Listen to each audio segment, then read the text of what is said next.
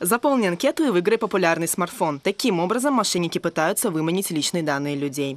При этом желающие нажиться на любителях попытать удачу прикрывались именами известных в Эстонии крупных сетей, таких как Элиза, Сельвер и Рими.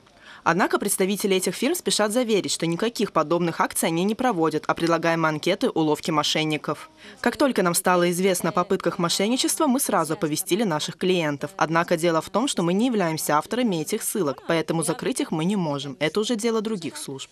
В подозрительных анкетах злоумышленники пытаются узнать личные данные человека. Фирмы, названия логотипы которых были использованы, теперь находятся в ожидании, когда же специальные службы решат этот вопрос. В их же силах только распространить информацию информацию о мошенниках через медиа и социальные сети.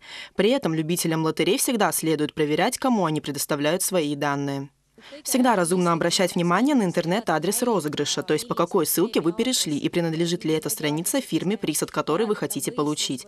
Также на домашних страницах торговых сетей всегда указан инфотелефон, позвонив по которому можно уточнить, существует ли вообще такая акция. Для того, чтобы не попасться на удочки мошенников, лучше сразу закрыть подозрительное окно и тем более отказаться от предоставления личных данных неизвестно кому. При этом, если вам кажется, что личная информация попала в руки лицам с благими намерениями, можно спросить совета в инспекции по защите данных Эстонии по адресу, который вы видите на экране. Виолетта Ланман, Вячеслав Скалецкий, Первый Балтийский канал.